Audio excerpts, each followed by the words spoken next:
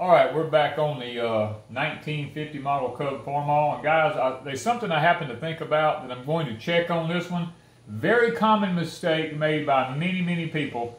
My daddy always told me, he said, son, equipment needs to know how to breathe. If it, if it can't breathe, you're going to have problems eventually. So we're going to look at the steering sector on this tractor, and uh, there's a couple of things here I want to talk about with it. One being this rod right here, when, when it rains, water will run down this rod right here, and when it gets to this seal right here, if this seal happens to be going bad, water will go in the steering gear right here and seep into it. Secondly, this whole section up in here on the other side of this is part of the radiator and the cooling system. See, this tractor doesn't have a water pump on it. This tractor works off of, I believe they call it thermal siphoning. Uh, water comes around through here and goes up into the block up in here and goes back through the radiator. It siphons it backwards and forwards. Well, when that happens, this right here, the steering gear sector, happens to get really hot. Well, because that steering gear sector happens to get hot, it needs to be able to breathe. So what the company's done is the plug right here should have a hole in the side of it. Now, this one, the gentleman painted this tractor before I got it. Of course, I'm going to have to clean it and do some touch-up since I'm rebuilding it. But I'm going to take this plug out. I can get a hold to it here. It's maybe a little, there we go, maybe a little tight. Usually they come out pretty easy once you break them loose. Let's see here. Yeah, it screws out real easy. And guys, what we're going to be looking for, there should be a hole in the bottom of this plug and there should be one in the side of it. In other words, when this thing here heats up, it allows the pressure to come out. It should be a hole in the bottom of this plug here. If we get where we can see it there, can we get? Can we zoom in on that where we can look at it? There we go, right there. There's a hole in here, but the mistake that most people make is when they paint them, they paint over the hole and they cover it up. And, you look, I don't see a hole anywhere. So, possibly right there. Looks like, and I'm not sure, but it looks like an indention. Well, what we're going to do... Scrape paint off. We're going to have to go through here now. And we're going to start cutting paint off of this thing. Lots of times you'll just see an indention in it. Because what happens is it'll get covered up in dirt. We're going to have to go through here. Oh, let me look. Not there. Go to the next side. Well, we just painted over dirt there. uh, I don't see anything there unless you'll know because you can stick the tip of a knife in it. Let's go to the next side.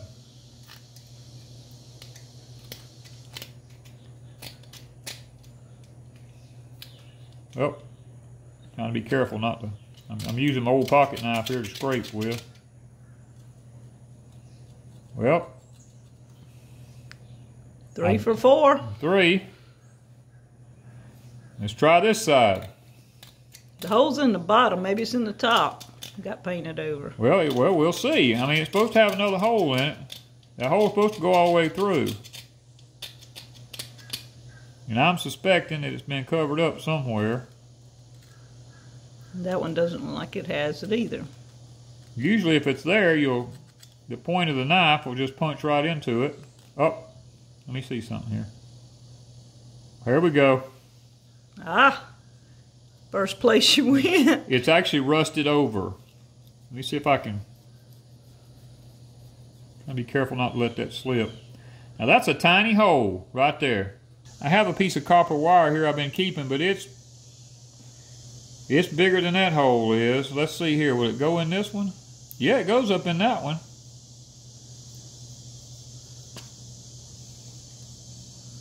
There's probably dirt and everything Look at else. That. Just gunk. It's just gunked all up in there. Can so, you put that in a, a solution? I tell you what we'll do. I've got some uh, brake cleaner over here. Let me go spray this thing out with some brake cleaner. All right, I went and got my daddy's old torch cleaning tips. It was his.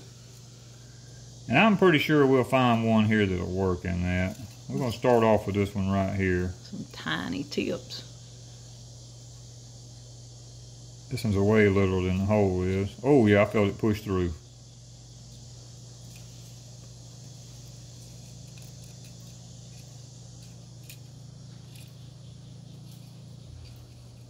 Like I said, you need all kinds of tools to work on this thing. I mean, I'm here. I am using a antique torch. Antique torch kit thing. I mean, it's not antique. They still use them today. It was just this was just my dad's.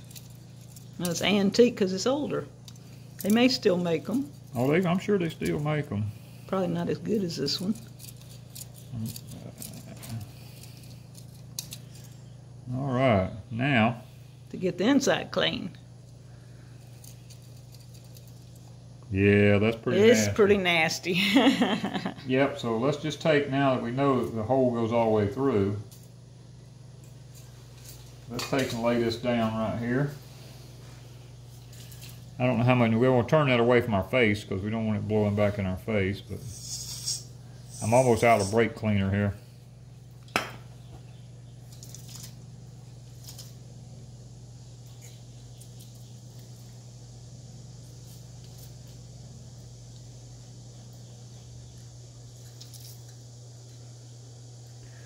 Still ain't wanting to come through.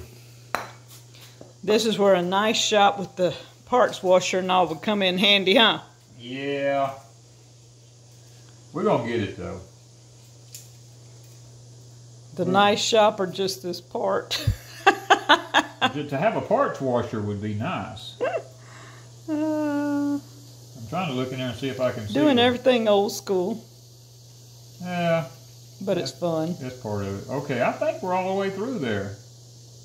Can you blow uh, some air? I ain't air? putting my mouth on it since I put the brake cleaner on it. No, I meant your air thing. Do you need it? I think you're through though. Oh, I see the thing in there now. Yeah, it's it's it's gone through.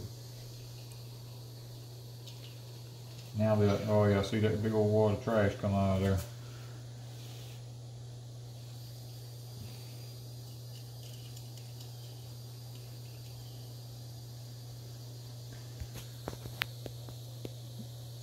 Oh yeah. It's coming out now, ain't it? Coming out now. So, okay, that's what we were after right there. All right. So, guys, this is one of the things that you have to be really careful of on this old stuff like this. And you know, there's not any videos out there really hardly talking about this. They talk Uh, about the maintenance that most people know about. Yeah, and these are these are like key parts uh, that has to do with this thing. That's what will blow these seals out and blow the gaskets and blow the one up under the bottom. When this thing builds up with pressure, if it can't get rid of that pressure, it's got to come out somewhere. And when stuff like this, I mean, look how tiny that is. I mean, that's pretty little right there. Kind of like my uh, pressure canner. You got to have somewhere for that pressure to So come. you got to have somewhere for it to go, and that's the thing about it. So what I'm going to do, I'm going to go ahead and repaint this. Well, I think I'm going to put it on here because I got to do some pressure washing. I'm going to just put it back on here. And let, well, you know something else I want to look at is the way to know. I'm going to mention this to know if you've got a bad seal or anything up here. Is we'll look at the oil in there. If that oil is milky, that means we've got water seeping down through some of this stuff getting into there. So let me grab a light where we can look down in that little hole up there. Look down in there. You see that color that? It's milky. It looks weird. It's a milky color. That means we're getting water in there. So it probably means we got a bad seal here, a bad gasket or something here.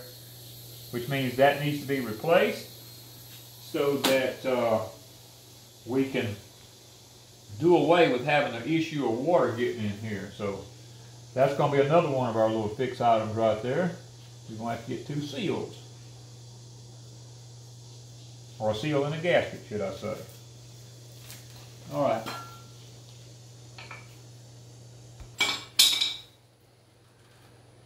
So guys, whenever you're working on these old pieces of equipment like that, keep these kind of things in mind. Now this is a 1950 model Cub Farmall. Check yours out. If you've got one of these, check your plug out to see if your vent stopped up. If it is, clean it out. so that you don't have to worry about blowing a seal or something like that because that's what happens. These seals blow and then water can run down this rod right here and hit that seal and seep right into it. And that's just one of the main issues that we run into on this older equipment like this is just poor maintenance. One of the things that a lot of people don't think about on these old tractors is the nuts and the bolts on everything. Uh, from a 1950 model, a lot of them's in bad shape, and some of them I have to use a nut buster just to get them off, and a lot of them are just so rusted that if you try to turn them, they'll break. It's like these wheel weights. Now, you got the back wheel weights and you got front wheel weights. Now, the front ones are laying on the ground up here because I have the front spindle off. I've got all that coming to be replaced new, bearings and seals and all that stuff. So they're laying there. But what I discovered when I took them off is the bolts were just in really bad shape. So what I've done is I went and bought all new bolts and I went ahead and painted them uh, to match the color of the tractor. So I have all new bolts for all the wheel weights on the front. One of the things that we don't think about is that they're always in the dirt when you're plowing and the bolts get dirty and rusted and everything. So it's better if we go ahead every so often and just try to fix them where we can replace them because the last thing you want to do is to have a flat tire and have to go and try to take a weight off to get this tire somewhere to have it fixed and you can't get the bolts off of it. So, or either it's so heavy you can't handle it. And that's the problem I'm running into here on the back. If you'll notice here, you can take a look at how these bolts are here. They're just so rusted and caked up here. They're in really bad shape. Plus, they painted over them. And, and they've been painted over over the years. And I, I'll be lucky if I get it off without breaking it. But what I've done is I've gone back now and I'm replacing them with galvanized carriage bolts to go back in them. Now I want to show you what one of the bolts originally looked like. The reason I say this, this is one that we took out right here. You see how this bolt is? It's almost beginning to rust into right here where it sits inside the rim of the tractor. And if you go to try to turn these off here and this bolt breaks, then you got to put a new one in it anyway. So, Or if you're just out in the field plowing, this bolt could break. And next thing you know, your wheel weight's laying off out in the wheels, the field somewhere if they all break and you're just not aware of it. So it's best to go ahead and replace them while we can. So we done that here. We went ahead and bought all galvanized bolts and nuts and lock washers to replace it with. And I'll be going around the whole tractor on the back of it and replacing all of those bolts in it. And another thing is I just redone the seat on this. Uh, I took the seat off the tractor. I put a new seat cover system on it. And while I had it off, the seat was rusted so bad that I had to literally take a hand grinder and grind all the bottom parts of it off and everything. Well, while I had it off, I went to try to take the bolts out of it, and they were just like everything else. They were rusted to the point I almost didn't get them out. So what I done was is I went back in here, up under here, you can see them. I went back with grade 8 bolts. And guys, it's it's it's key that all this stuff gets replaced and well taken care of because the last thing you want to do is have to try to work on something that's in when you're, you're trying to restore and all the bolts are in bad shape. Now one of the other things that I've done was the negative battery cable on this tractor. We talked about that in the wiring part of it where the negative battery cable was in such bad shape so I went online and found the original replacement negative battery cable for this tractor and when I went to put it on the tractor and try to get it all run through there, I noticed underneath the tractor, it has key places where it's supposed to uh, be fastened. Well, this is what I found. All these pieces like this here, they're just about completely ruined underneath the tractor. These old metal pieces like this that was under there. So what I done was I went to uh, Tractor Supply and I bought new clamps that has rubber mounted in them. And then I even went a step further and on the battery cable, we'll take a look at that around here. On this tractor here, the negative is the uh, actually the hot wire on this. It's a positive ground. I took the negative battery cable and I went and bought this uh, tubing stuff to put around it here because there's one thing I learned as a guy driving an 18 wheeler one time. I had one that rubbed a, like it was up against a corner like that and it rubbed and it shorted out and set the truck on fire that I was in on the side of a highway. Um, so I've learned these battery cables like this, I wrapped it in it all the way down through it, even down into the hangers underneath it down in there where it's at. Okay guys, here is the clamps I went and purchased. Uh, these are uh, metal clamps that are rubber insulated around the outside. I ran the uh, plastic tubing like you run over your electrical wires through that and run the battery cable through it so that in the future we don't have to worry about the battery cable coming in contact with anything to try and short it out. Now this battery cable will eventually come on around and it'll lay right underneath this uh, piece of metal right here. And up under the hood up under here, there will also be these types of clamps mounted with the rubber here in the clamps to hold the battery cable up under the uh, hood of the tractor. All right, in routing the battery cable, I ordered the original owner's manuals for these tractors, and it showed the battery cable running underneath the hood right here, coming over, going in behind the distributor down in here, and coming over on top of the starter relay right down here, like this. And well, with me, I'm a little concerned about the battery cable being that close to the engine and it getting that hot, so I actually put the uh, the rubber tubing stuff on this right here also. Um, even though it might not be a problem, I'm just taking a little bit of an extra step. Now we have a new one of these ordered right here to go on the starter. So we're going to be replacing all this. Right now this is just temporarily stuck on here. Uh, but I'm trying to make sure I have everything lined up the way it really needs to go. So I wanted to just take this opportunity as you're going through the tractor I have went ahead and purchased, uh, I have all new stainless bolts of all kinds for the tractor. I bought all the new ones for the wheels. I bought new bolts to go through the whole tractor everywhere that I can think that I need to put a new bolt. And I'm going to try to go back and do that and do a really good job in making sure that if I ever have to take anything off of it, then at that point, I don't have to worry about not being able to get it off because I took the time to put a nice either galvanized or stainless steel bolt back into it so that I don't have any problems with it in the future. So keep this in mind when you're restoring the old antique tractors. Alright guys, one of the other things that we're doing to the Farmall Cub is we're getting rid of these uh, back lug bolts. These are the old old-fashioned ones here. Most of them have rusted to the point that they're rounding off whenever I try to take them out. So I ordered new ones from Steiner's. These are 3 quarter inch heads on them. The new ones are 13 sixteenths. These are like an inch and a quarter long. These are like an inch and a half long, or inch and three quarter. These are a lot longer, a lot larger head on them. It's an upgrade, I think, uh, that uh, Cub Farmall made, because these just really not worth it, guys. And if we're going to restore a tractor, we figure we might as well put the new lug bolts in it because you don't want to get a tire issue and then these things like did like with me round it off and you have fits trying to get it out of the rear of the tractor so it's best at this point to just go ahead and replace them with this and then we take a tap and we go ahead and just tap the hole out because these didn't quite go all the way through the hub the tap kind of cleans the threads out where you don't have to worry about messing them up and they screw in pretty easy. So it's just another upgrade to the Cub that we thought we would make on it. Okay, we've got one side of the Cub done here. We've replaced all the lug bolts in one side of it here. Now we're going to jump over and see if we can do the other side. We're doing them one at a time so we don't actually have to pull this big heavy 150 pound wheel weight off here plus the tire and all that. Uh, just don't feel like trying to handle that. The next thing we'll be doing once we get these out of here is we're going to replace these square head bolts up in each one of these with brand new ones because these are getting in pretty rough shape also.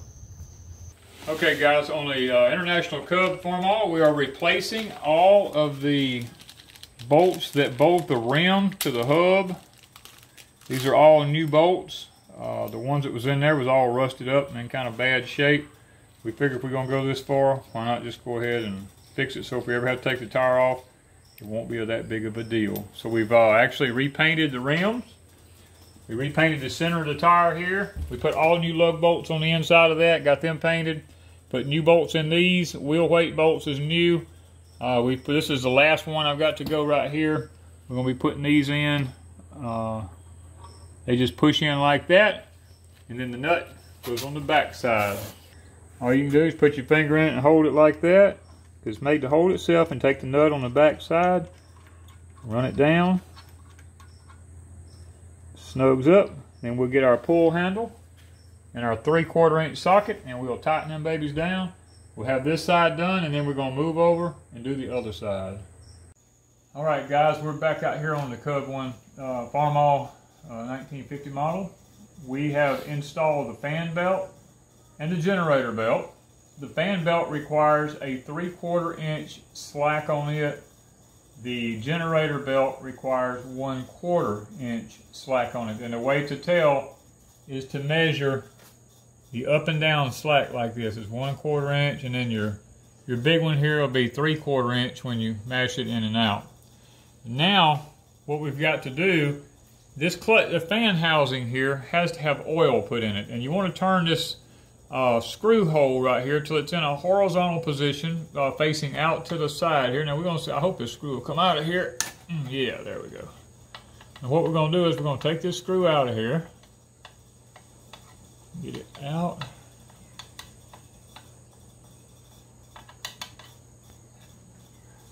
You don't want to drop it. Okay, now what we're going to do in this little hole here, we're going to put the same oil that goes in the engine in this. We're going to use a little uh, pump can here until we fill this thing up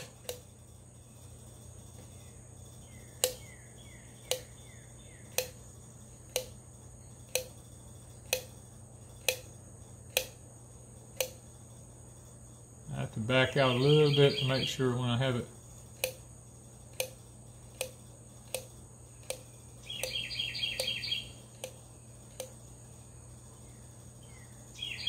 not running out yet. You want to pump it till it runs out this hole. Now what you want to do, in order to get this oil level at the right level, you want to turn this till it's straight at the bottom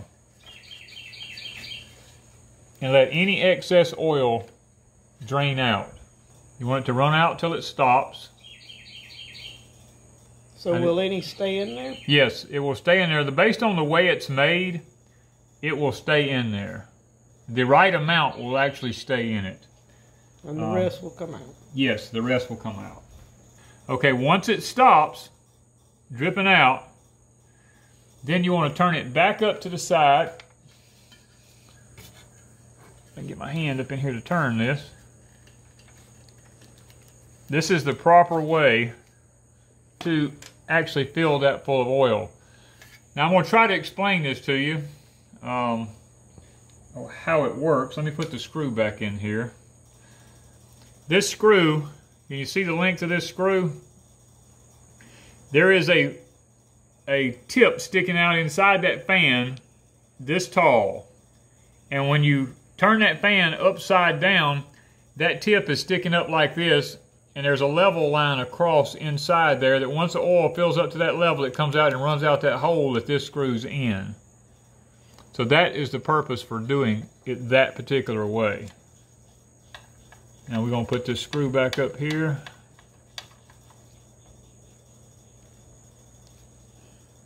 I'm going to tighten it back down. All right. That is the correct procedure for filling up the fan housing on a Cub Farmall. Now what I've got to do now is I'm going to clean this oil up in this because the last thing you want in a radiator is any kind of oil substance around this right here because it will dust will collect there. So make sure you go back and you clean up all of the excess oil that's dripped out. Well guys, we've got it all back together now. It is time to see if it's all going to work. Uh, not sure. I mean, I've, uh, I want to show you what I did do. Though I made a new gas line here out of steel.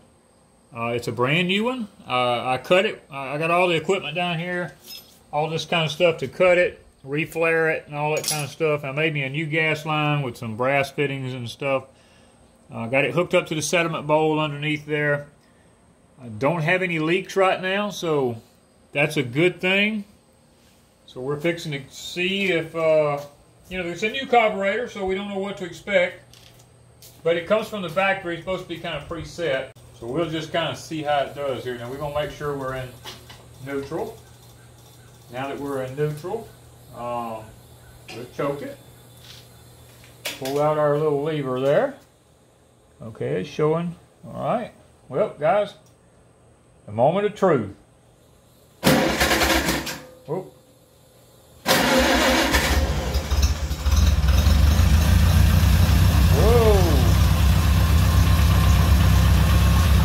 It still runs. Yes. Okay.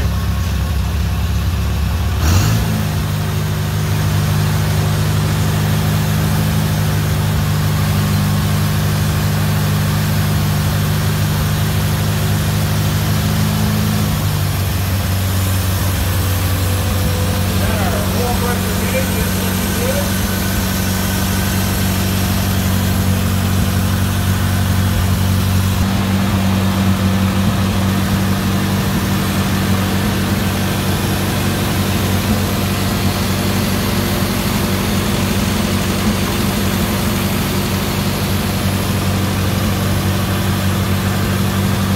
Well, okay. I'll have to do a little bit of adjustment on the carburetor probably, a few things like that. But right now, seems like it's pretty good. All I got left to do is hook up the lights. We'll put my stickers on the hood. We've got a new battery box and all coming for us, so we've got a few things that we still got to do. But other than that, I'm excited. So it's going out from under my uh, she shed. Oh yeah, we'll take We're gonna out. take it out from under the she We're gonna take it out from under here, get everything cleaned up. Uh, I'm gonna probably power wash it off and make sure it's all good and clean. Got to put the grill on, I but put the grill on. I just didn't want to go all the way yet till I knew it was gonna be okay. but Lucy is fixing to go out from under here Oh, I'm excited now. I am excited. soon. I didn't realize how lopsided it is. Yeah, it sits that way on purpose. That's where you can see. but it looks better with the red. It don't look so bug-eyed Yeah, it looks good. I got, lights. I got to put the grill on it now and all that kind of stuff, and rewire the lights here. Get my plug-ins all put on that. Ah, I am so excited that I've got it back together now. And it works. And it works. I get all this other stuff done. We're gonna take her for a maiden trip. All right, we got our new floor mat too. We haven't showed the floor mat. Oh, you did get a floor mat. Yeah, we got a new International Harvester Farmall floor mat. But I'm fixing to move this baby out from under my she shed. Let's just say, Look. yep, all that's gotta go back to the shop. Ah. All right, let's just try it here and see what happens.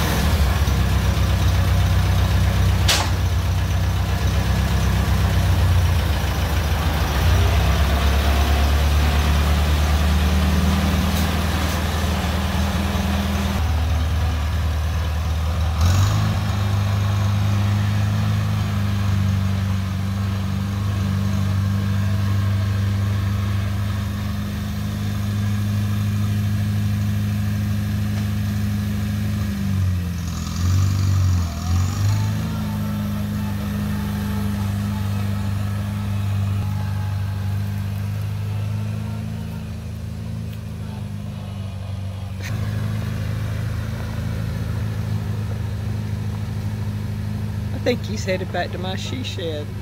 I better go see. Uh oh. No, no, no, no, no, no, no. You better stop outside the shed. It's outside.